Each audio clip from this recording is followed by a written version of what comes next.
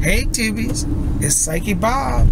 Well, we're out and about. We're having another adventure. I'm with my buddy Mr. Ermias, and we're going into the city, into DC, into the big city. So come on along. Hey Tubies, well look where I am. I'm at the Smithsonian Castle. It's certainly beautiful. Check this out. This is the formal gardens Really beautiful. There's the castle building.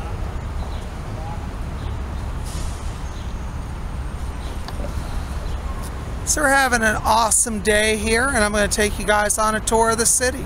So come on along. Another piece of interesting history is that my father helped install these gates. Back in 1986, these gates were custom made and put in here wrought iron. They weigh a ton, but you can see them. They're really awesome.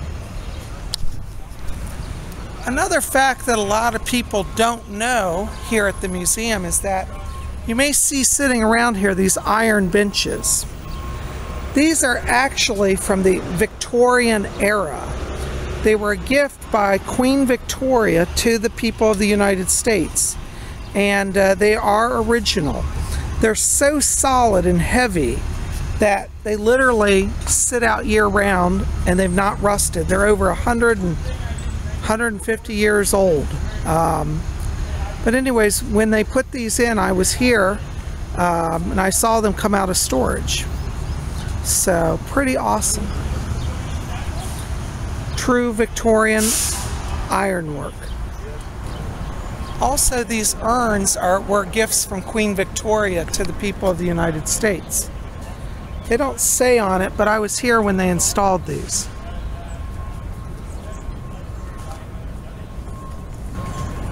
And here are some more of the urns. They're lining the center garden here, which is just absolutely beautiful. Here's the castle building. I love to come here. It brings back so many memories for me. Oh, also some more Victorian ironwork.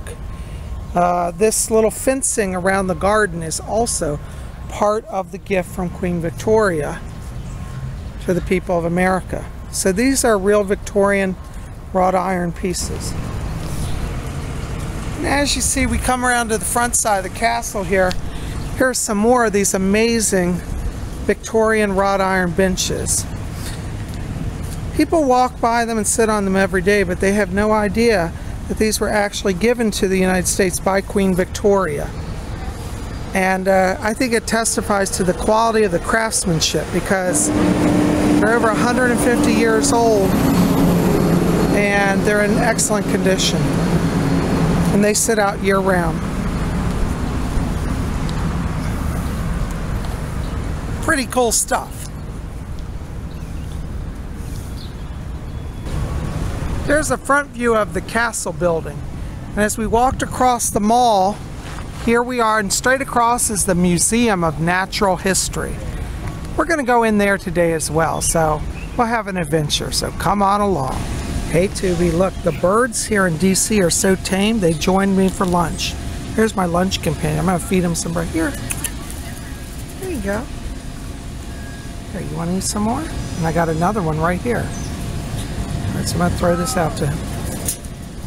Well, that one stole it from that one. That's a raven, a little raven, guys, look. I'm the Duke of Ravensworth. Here you go. Oh, there you go. I got a whole flock of them here. Isn't that great? I'm having so much fun. And look, I got lunch companions all lined up here. They're on the chair. Oh, they're all down here waiting for me. There's my buddies back. Hi. Are you still hungry? Huh? They're so tame. Aren't they cute? I want to take one home. oh, guys, look at this little baby who's come up here. So cute. Come here. Come here. Come on, you can eat it. Good boy. Here you go. Oh, there's a little baby. I tell you, I got great lunch companions here with me. They're so friendly. They're not even chirping. Here, you want some more? You're a little one. You look hungry.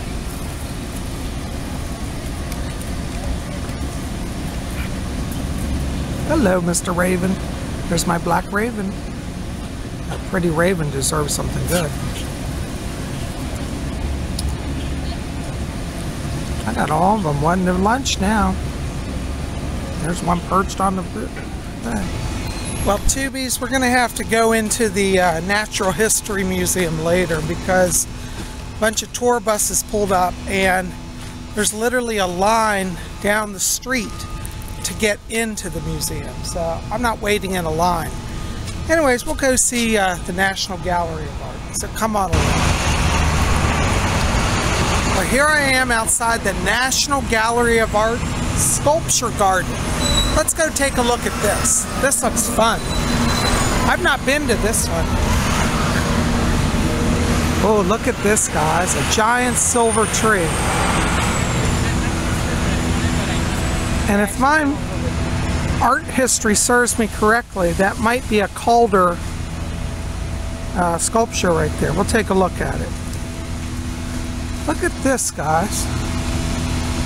A giant silver tree reaching into the sky. Let's go look at this. It's literally a tree made of silver or stainless steel or something.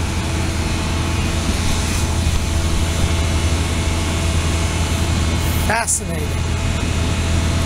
Let's only hope in the future that all of our trees aren't made of metal.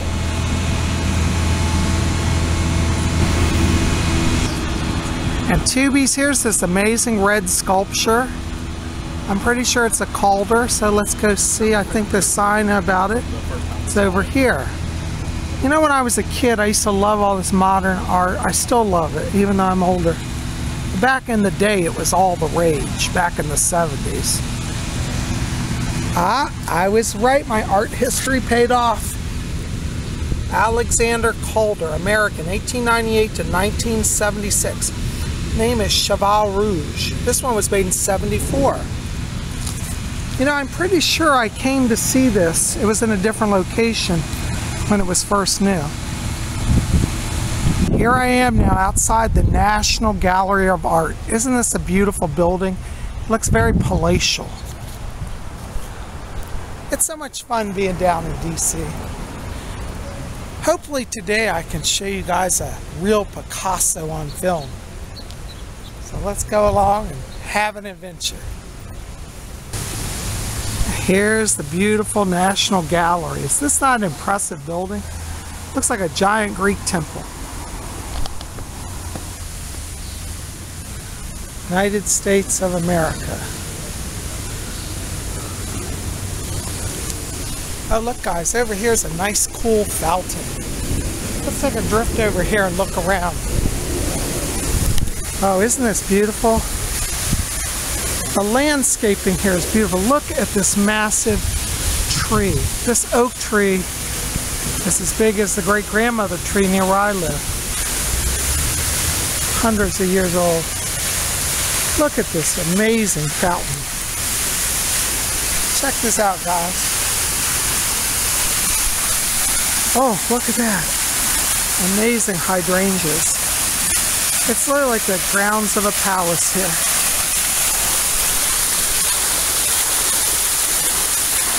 Isn't it beautiful?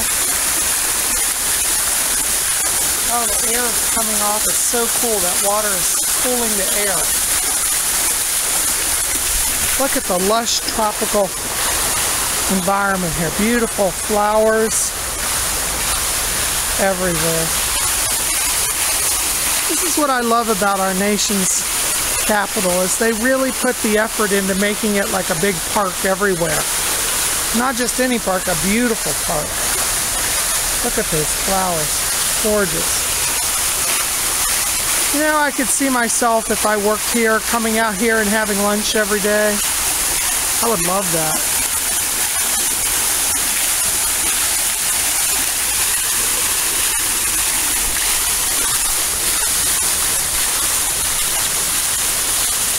Beautiful. Oh, look at the bees here, guys. I love these flowers.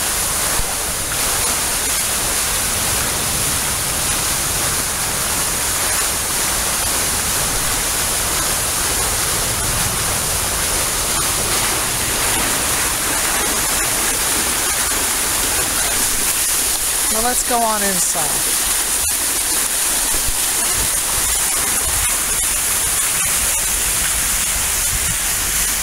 Here I am at the front entrance on the portico of the Gallery of Art. Look how big this beautiful bronze work is, this big giant door. I don't know if you guys get a sense of the size of these massive columns. It's an amazing architecture. I love it here. I'm going to stand by one of the columns. You can see how big it is. is that amazing or what?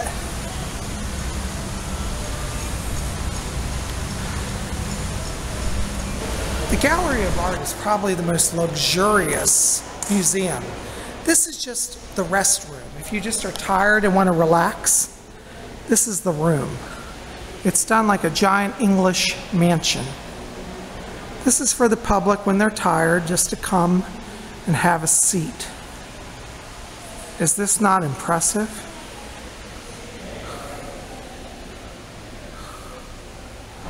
Not a soul here today. It's so elegant and relaxing. This is the wonderful thing about the National Gallery is that they try to make everybody's visits here luxurious and comfortable. So I think I'll take a seat and just chill for a few minutes here.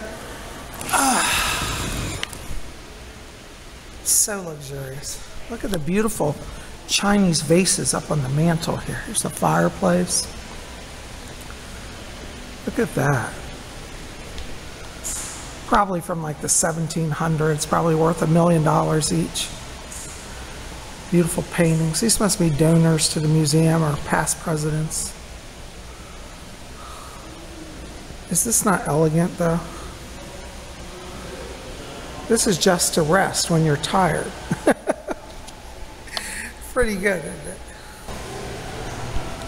I brought Junior with me today, and he's here having a rest with me in this luxurious restroom. See how high the ceilings go up in this? That's beautiful. Look at this chandelier. Spectacular.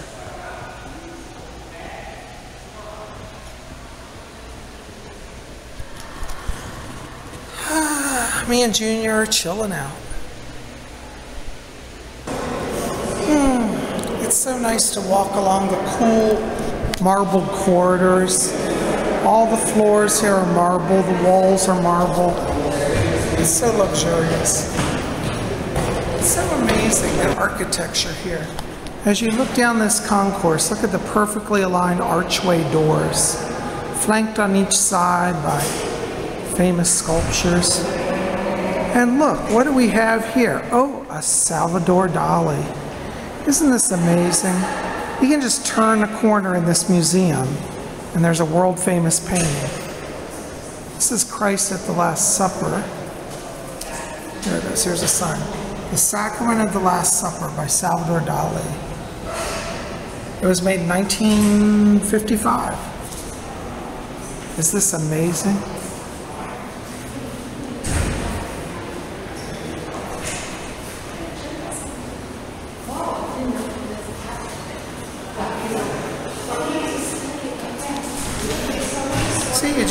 Turn the corner and a Salvador Dali pops up.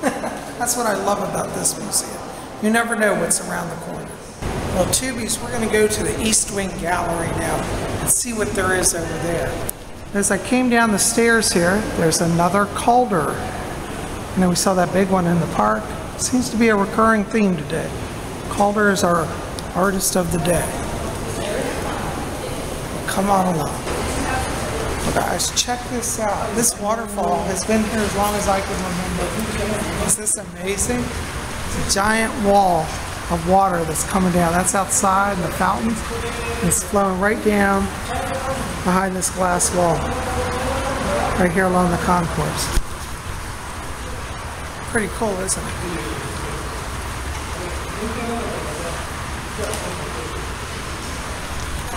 Yeah, last time I was here, my camera cut out.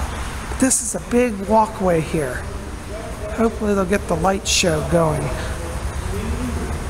It's like a big, uh, it's got a electric sidewalk. You just stand on it and it rolls along. You can see some of the lights are playing. They don't seem to have it on today. Usually it's very dramatic.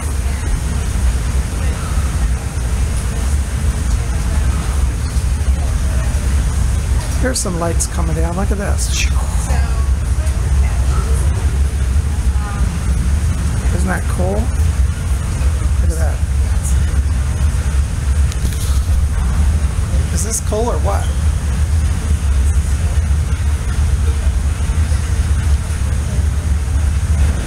Hey guys, well here we are at the East Wing. Check it out. Isn't it amazing? Look, there's another Calder up there. He's really loved here.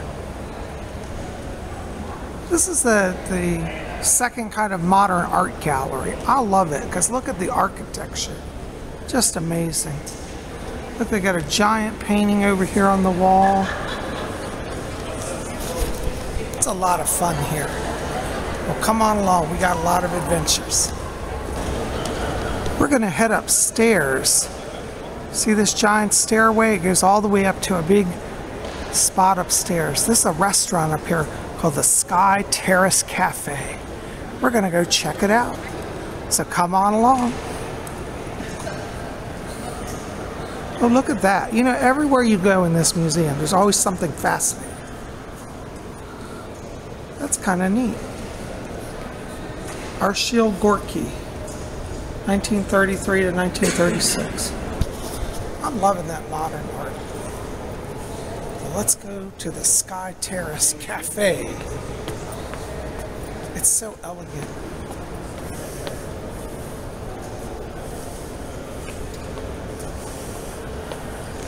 Oh, look at this, guys. This is interesting. What a cool sculpture. Oh, and look at that. This is the Sky Terrace Cafe what's called Terrace Cafe. It used to be called Sky Terrace. Way up at the top of this amazing building. It's very elegant. I hope it's open today. If not, we'll just find somewhere else to eat.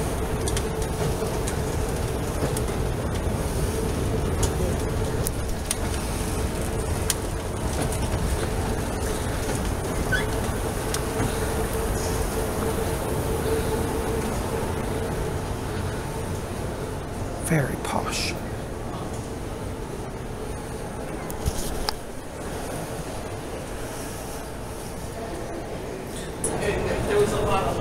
Well guys, here I am at the Sky Terrace Cafe.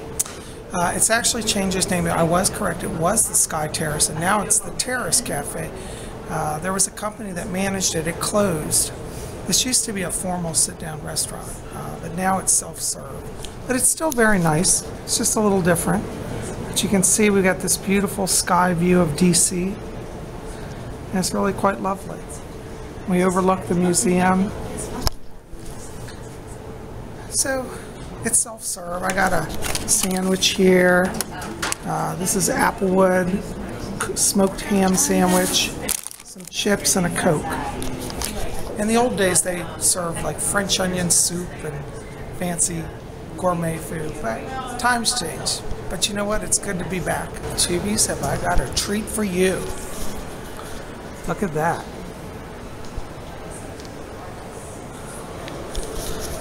I got something special. Come see this. What do we got? Oh my God. My favorite Picasso. There it is, guys. It's real. See? Pablo Picasso, Harlequin musician, 1924.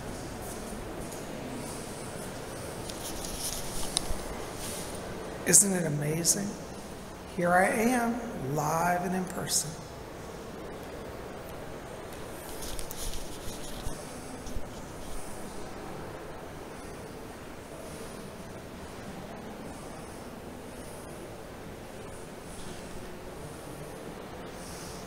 I love it. And here's another one of my favorite paintings. Check this out. This is by Jackson Pollock. Some of you guys may recognize this. This is very famous. This is called Lavender Mist. Let me check the name. I can never remember. Oh, it's number one Lavender Mist. Number one, 1950 Lavender Mist. it was made in 1950. In the 50s, abstract expressionism was very big.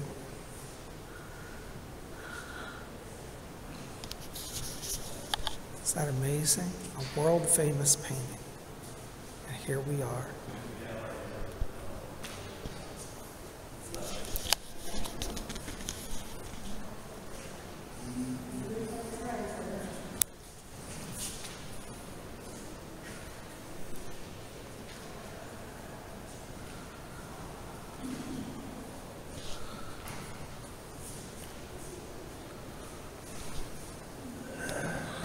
And look we got, a world famous Warhol here. Actually, a few of them. Here it is, Andy Warhol, Green, Marilyn, 1962. You guys like that, huh? Check that out.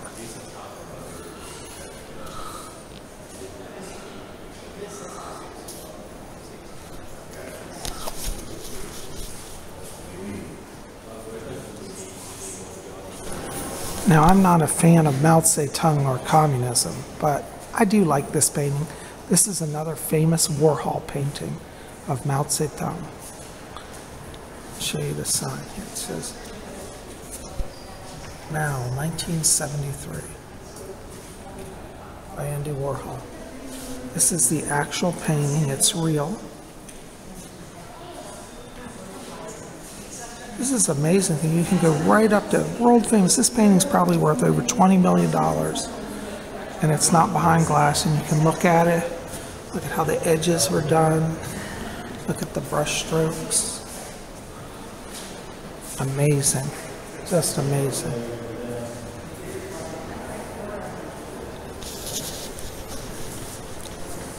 So here we are. Another famous painting.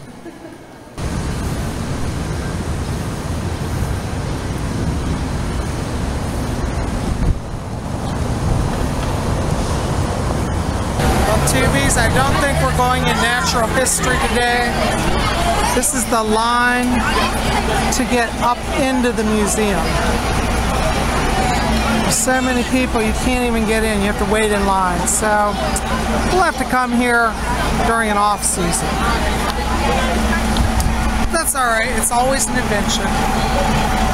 Well, go look at some modern art. Maybe we can find some more Picassos or Warhols or Miros to look at.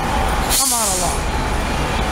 Well, Tubies, here I am at the Hirshhorn Art Gallery, and uh, unfortunately, uh, most of the exhibits are closed, so I'm not able to show you any more Warhols or Picassos. They have a really great collection here, but they're all closed. So, we'll just go on. Let's see what else there is to see. Well, Tubies, I'm not having much luck today. A lot of the museums I wanted to show you are closed, but uh, I'm out walking on the mall.